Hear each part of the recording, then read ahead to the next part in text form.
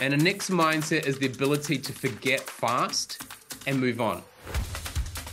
Uh, the best people at doing this, um, if anyone in Australia knows rugby league, there's a guy, um, Reece Walsh, young guy, and he's got this phenomenal ability that if he does a pass, so you'll be able to catch this. You you can imagine a soccer player, you can imagine a different sports person, but he does one move, it doesn't work. He literally, you can see him on the field, his brain just switches off it. Next time he gets the ball, does exactly the same move, and it works. Whereas most other people will avoid that pass. They will go to a different pass because it didn't work that time. They've got the fear has kicked in. So let's so rather than sitting there and go, oh look, it didn't work. I'm not going to try that. I'm going to be, I'm going to do something more low risk next time.